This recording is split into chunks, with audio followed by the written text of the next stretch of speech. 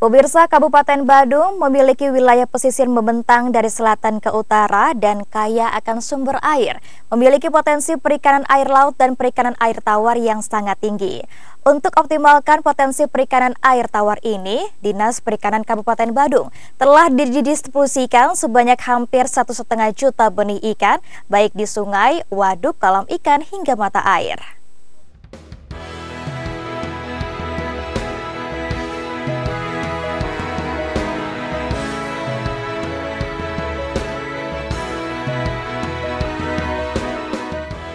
Kegiatan panen ikan dilaksanakan masyarakat di kawasan Dalung Kute Utara Badung. Selain untuk memanfaatkan lahan budidaya ikan air tawar di kawasan ini dilaksanakan masyarakat di Dalung juga untuk meningkatkan ketahanan pangan serta untuk mengembalikan dan meningkatkan populasi ikan di perairan air tawar.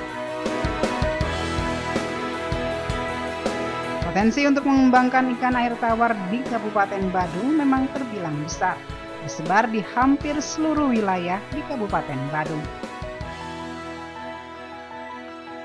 Tak hanya di Dalung, budidaya ikan air tawar juga dilakukan masyarakat di kawasan Petang, Labian Semau, Lakiu, Dermesabe, hingga Mengui. Didukung pasokan air yang cukup baik, budidaya dilakukan secara konvensional maupun dengan menerapkan sistem bioflok. Sistem bioflok sendiri merupakan teknik budidaya melalui rekayasa lingkungan yang mengandalkan suplai oksigen dan pemanfaatan mikroorganisme pada air kolam yang dapat meningkatkan nilai kecernaan pakan.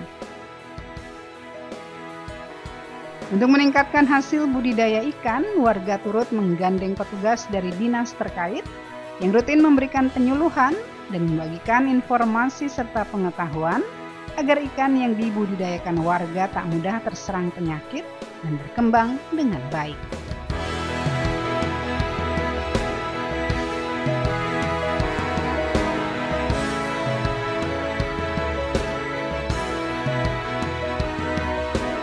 Yang sering dihadapi oleh petani di lapangan itu yang dalam modal ya Pak soal untuk biaya pakan kedelai itu tinggi soal biaya pakan kalau udang ini murah dia pakai uh, kecambah bisa sisa-sisa nasi itu bisa agar nggak berminyak aja. Itu lebih murah Ya untuk pemasaran untuk sementara sih tidak ada kendala. Malah kadang-kadang kita sebagai petani kurang ikan. Karena kebanyakan sekarang ikan yang dipakai lalapan itu pak. Untuk lelenya. Dan untuk uh, nilainya juga ada seperti itu masuk-masuk ke restoran. Kalau kami tidak menyediakan hal seperti itu di restoran, kami pakai ya untuk mancing di kolam sendiri. Untuk mendukung budidaya ikan air tawar guna meningkatkan ketahanan pangan di masyarakat, pemerintah Kabupaten Badung melalui Dinas Perikanan dan Kelautan telah mendistribusikan 1.451.000 benih ikan air tawar kepada masyarakat.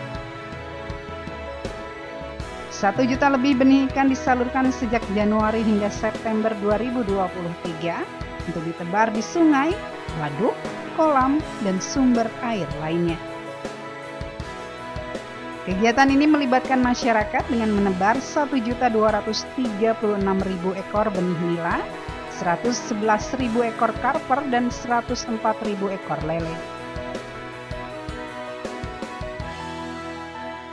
Penebaran benih ikan atau restocking ini dilakukan Pemkap Badung sekaligus untuk mengatasi krisis ikan di perairan umum akibat tingginya penangkapan.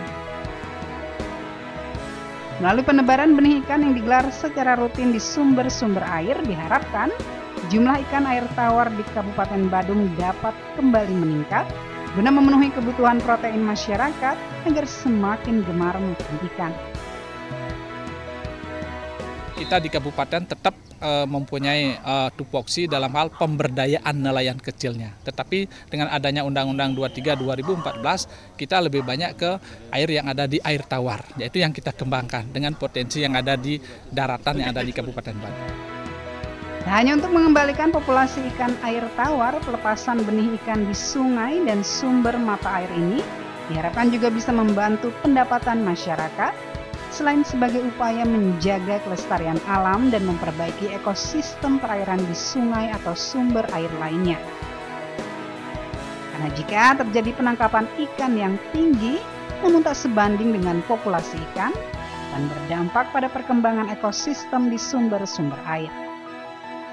Dari Badung, Tim Liputan iNews melaporkan.